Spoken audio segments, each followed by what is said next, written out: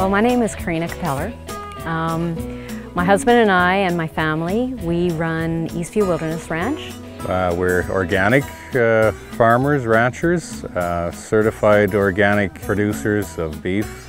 Because we're a ranch, we have the ability to grow most of our own food. We have our own vegetables, we raise our own chicken, and we also have organic wheat, barley, and oats and small seeds such as alfalfa and red clover. But we believe that uh, certified organic is the way to produce our food.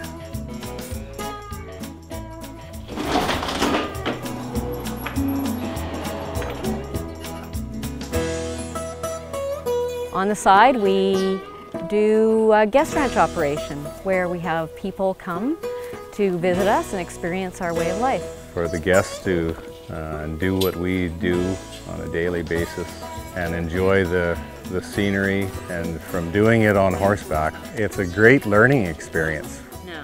They are going to learn the basics about their horse. They're going to learn how to catch horses, groom horses, and put the bridle on, saddle it, and why uh, we need certain things on the saddle and, and safety around horses.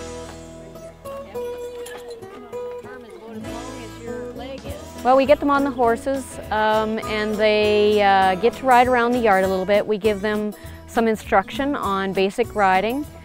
You're going to uh, spend some time with the cattle and be a cowboy for a day.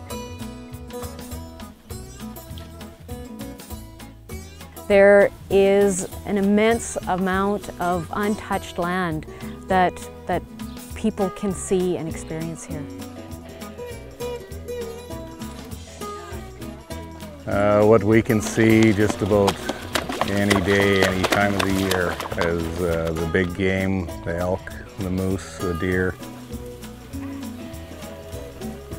all the, the things that, that people don't get to experience or see as often as they should, they get to see it here.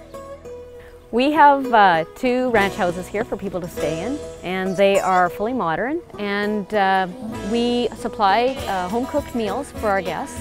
Uh, it's served family style. Everybody eats a lot of good homemade country food. That's the hard part, is for like something that's just everyday to us. And some of the things we do and take for granted is, is just a whole new world to other people. It's something where there's not long lineups. There are very little wait times on experiencing things and, and seeing the forested areas. Come on out. Just come on out, we'll have a great time. Eastview Wilderness Ranch, where the highway ends and the forest begins.